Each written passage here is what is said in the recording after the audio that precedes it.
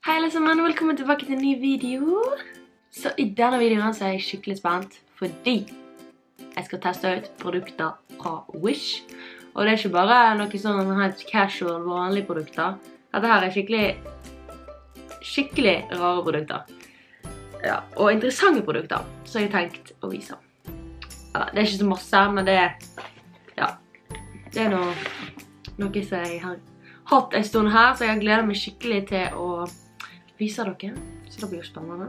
Så vi kan ikke bare sette rett i gang. Så den første tingen som jeg har lyst til å teste, er denne her. Den er fortsatt inne i pakningen, og jeg har ingen anelse. Hvis han må ha batteri, da blir jeg litt sur, fordi at uh, ja. Dette her er i hvert fall Pore Cleaner. A suit for cleaning skin. Så den skal liksom suge ut de der uh, blackheadsene og uh, rense porene videre. Ja, her står det jo at jeg trenger batteri. Oi. Åpne den, så ser jeg.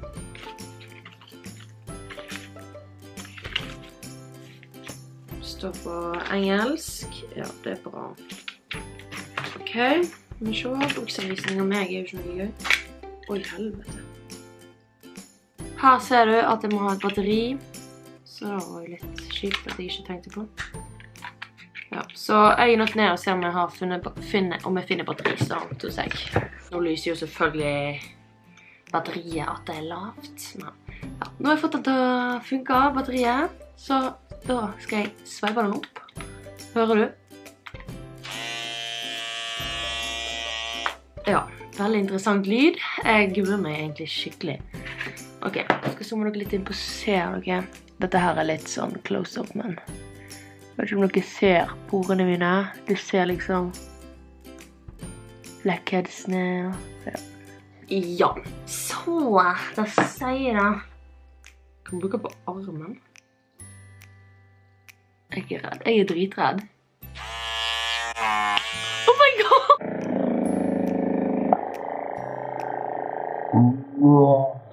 Mm. huden min. Jeg, så, jeg tør ikke.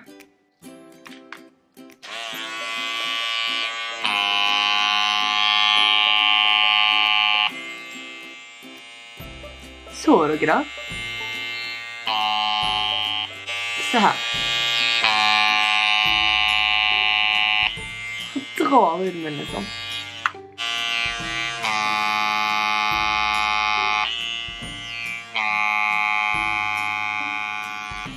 Ok, batteriet der var daua der, så jeg vet ikke helt hvor jeg stoppa. Men ja, konklusjonen min med denne her, jeg tok på meg t-skjorta by the way, for det var så varmt, er at uh, det ikke funker. Uh, jeg liker konseptet med at uh, du kan suge ut av gugg fra bordene, men For meg funker det i hvert fall ikke. Jeg skal prøve den litt mer, og så ser jeg om meningen mi endrer seg, eller hva, så kan jeg gi dere en lyd. Så vi kan gå over til neste ting, og denne her er veldig interessant. Jeg kan jo vise den. Her ser den ut som en helt vanlig gjennomsiktig truser når vi snur den. Har han to hull bak på rumpestumpen. Woohoo! Så dette her er da ei sånn her Jeg vil ikke kalle det ei truse. Det er iallfall sånn du skal ha tre på deg. Og så skal rumpestumpen din bli litt større, da. Alltid finne på å lage her. Men ja, det er jo et kult konsept da, hvis du er interessert i det. Altså, jeg kommer jo ikke til å bruke dette her til vanlig. Jeg gjør det egentlig bare for denne videoen her. Fordi at jeg liker liksom at ja, det naturlige da skal vises, det holdt jeg på å si. Så herregud, jeg tok i størrelse medium. Jeg kommer ikke til å vise dere rumpa mi, men jeg, jeg skal ha buksa ut forbi sånn at dere liksom ser før og etter. Jeg vet liksom ikke hva buksa jeg skal Hva buksa jeg skal ta. Ok, sånn ser da Mye rumpa ut før denne greia er på. Ja, litt bedre. Sånn. -du. Ikke noe skryt over, men ja. Hvor skal jeg ta på meg den der greien gjellergreien, og så ser vi hva som skjer. Og her er han på. Ja. Som du ser hvis jeg strammer buksa mi litt nå, så ser du at det er kraftig. Altså nå er buksa mi gjennomsiktig og liksom så Men herregud, du ser jo han. Så du kan jo ikke gå med sånn sånn gjennomsiktig bukser. Kanskje med dongeribukser. Jeg, vet ikke. jeg skal prøve med dongeribukser, så ser meg! oh my god! Å være ærlig med dere, ser dere den?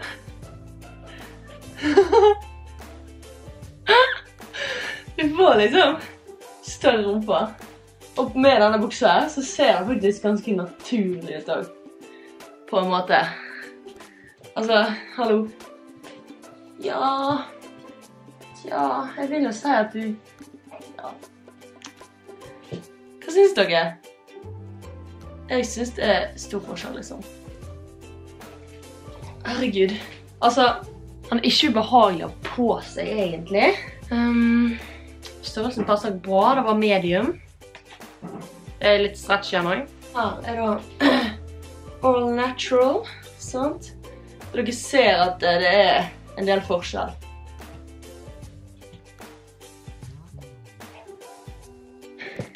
Men herregud, under dongeribuksa så funker det faktisk ganske bra. Hvis du er interessert i sånt her, så er det sånn Wish. Det er billig. Jeg vet ikke hva jeg betalte for det. Sikkert sånn ti kroner.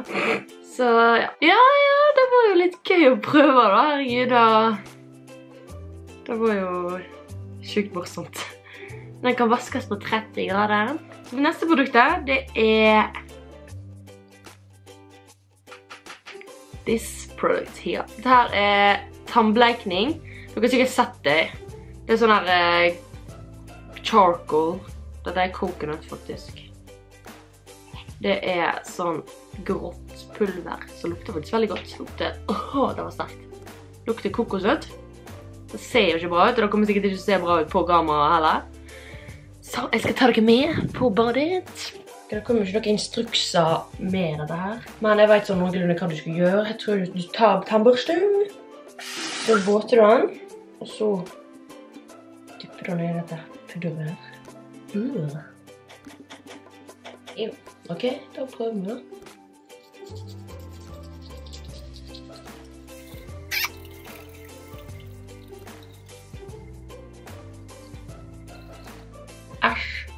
Æsj over dette her da. Så synes jeg har tennene. Hvor lenge skal du gjøre dette her da? Det svir faktisk litt på tennene. Ok, jeg skal ut. Skal jeg da?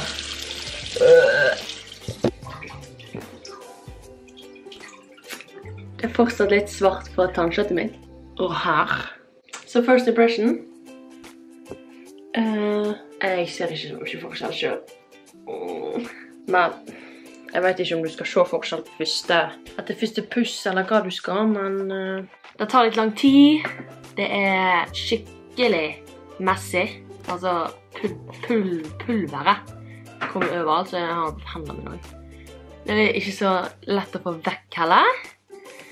Så vi kommer til å fortsette å bruke det, da vet jeg ikke. Det som er bra er at det er 100% naturlig, så det er ikke noe kjemikalier eller sånn drit i det, som alle andre ting. Tannblekninger ofte kan være. Men jeg kan kanskje da fortsette å bruke den nå, og vi gir dere min mening senere. Det var noe interessant å teste ut også. Og så til slutt tenkte jeg å vise to parykker som jeg kjøpte på Wish. Jeg betalte sånn 130-40 kroner for de. Jeg kjøpte to stykk. Den første jeg har er... Jeg hadde skikkelig lyst til å teste ut sånne parykker, men jeg var skikkelig skeptisk. Uh, fordi at Wish er jo skikkelig billig, men pakken ser faktisk ganske bra ut. Du ser jo på en måte at det ikke er ekte hår, man på den samtidig, så så lenge du ikke er helt close oppi trynet ditt, så kunne du kanskje trodd at det var et ekte hår. Så ja, vi skal gjerne teste ut. Jeg fikk med en sånn her eh, cap. Jeg har ikke peiling hvordan det funker. Det er jo sånn hål gjennom den. Bare...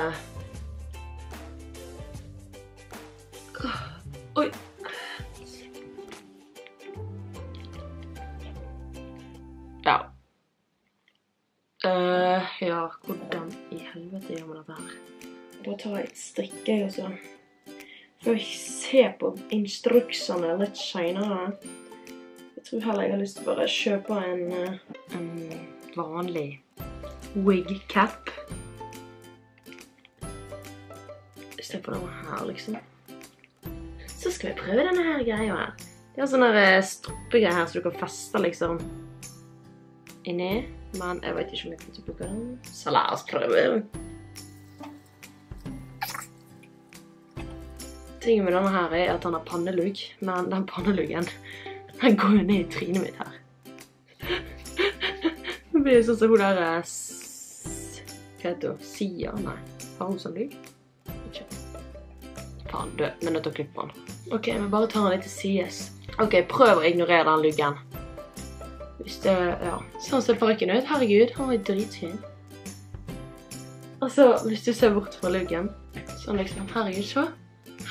Jeg elsker jo sånn farge. Sånn der grå. Oh my god. Sånn ser det ut.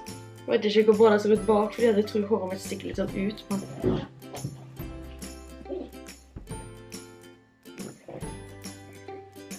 Ja, her er den første parykken. Kjempefin. Langt hår, rett.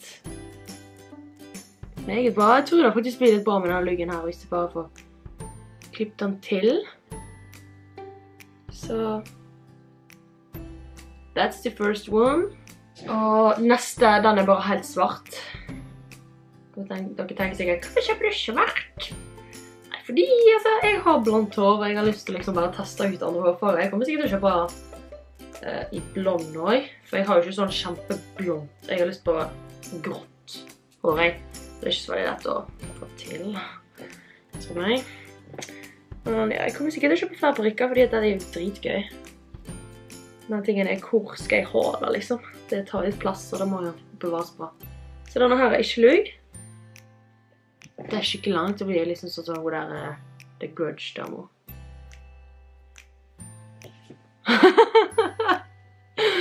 OK, jeg syns ikke svart hår passer meg. Jeg føler jeg må mye mer sminke på eventuelt da. Det er jo skikkelig gøy å bare teste ut, da. Herregud. Så langt er det, liksom. Og ser det ut bak. Håper dere ser. Ja, altså, jeg liker den. Den. Jeg liker den. Hadde jeg, altså, jeg kan jo bare ta litt hår vekk sånn òg. Så blir det litt kult òg. Men jeg syns jo ikke svart hår kler meg i det hele tatt. Jeg testa den da jeg fikk den, så at jeg snap til folk. Eh, 'Farge håret mitt svart, eller?' Og alle bare «Øh, nei. Så bare OK. Var det så galt, liksom? Jeg skal ta av meg den nå. OK. Han røyte litt, da. Altså Det kommer litt hår av. Men da må du jo nesten regne med når det er litt sånn billige parykker. Du ser jo de som kjøper sånn parykker til sånn 10 000 kroner, liksom. Sånn ekte hår. De er jo dritfine, men herregud så dyre. Ingen har Jeg har i hvert fall ikke penger til det nå. Da må jeg være litt Enten må jeg få sponsa, eller så må jeg være millionær. Og så må du være obsessed og så bruke alle pengene dine på parykk. Men ja, det var denne eh, videoen eh, som jeg tester produkter fra Wish. Veldig interessant og gøy å teste. Jeg håper dere likte denne videoen. Hvis dere vil at jeg skal gjøre flere sånne testevideoer, eller flere testevideoer fra Wish, da, eller at det kom til poenget, at jeg tester flere produkter fra Wish, sånne rare, litt spesielle produkter, dere, eller produkter dere lurer på, fungerer, eller dere bare har lyst til å se om jeg tester, så må dere bare gi meg en lyd, eller like denne videoen. Og så må du subscribe, abonnere på kanalen hvis du ikke allerede har gjort det, så snakkes vi i min neste video. Hei da!